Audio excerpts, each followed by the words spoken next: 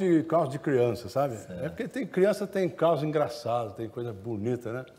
Tem um- uma historinha que eu, que eu contava, que eu conto de vez em quando, que era do, do grande Inhototico, que era na escolinha, o professor falou assim pro, pro Joãozinho, Joãozinho, quem foi que descobriu o Brasil? Ele falou, eu não fui. Eu não fui. Eu não fui. Claro que não foi você, seu idiota. Isso é a resposta que se deu ao mestre. Você não estuda, moleque. O que, que o Brasil pode esperar de uma criança como você? Eu que não espero nada, não prometi nada pra ele. Ah, tem graça agora um tamanho marmanjão desse ficar explorando uma criança que nem eu. Aí disse que o, o- o professor foi falar com o pai dele, que era um sitiante, aquele sitiante brabo, sabe? Aí foi falar com o sitiante, chegou lá. Sou Antônio, vim falar com o senhor. O homem já pensou que o moleque tinha feito arte lá. Falou, e o moleque fez alguma coisa lá? Não, não, não é nada não. Não é nada não, São Antônio. Porque aquele pai é brabo, sabe?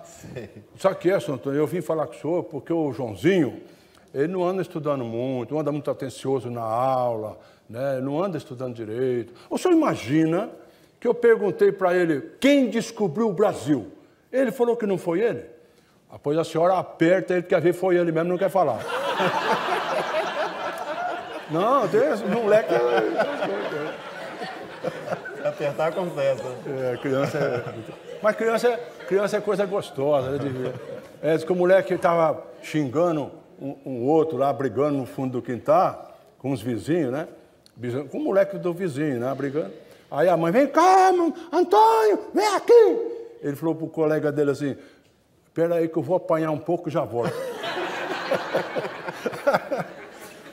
A a mãe morrendo falou pro filho, filho, se a mamãe morrer, o que, que você vai fazer? Ele falou, vou comer a geladeira inteira. ah, moleque não tem esse negócio, não, né? Não, desculpa, e o avôzinho, o avôzinho do moleque foi visitar ele, na hora de ir embora. Até amanhã, meu netinho. Ele falou, tem certeza, avô? Não, moleque é avô. né?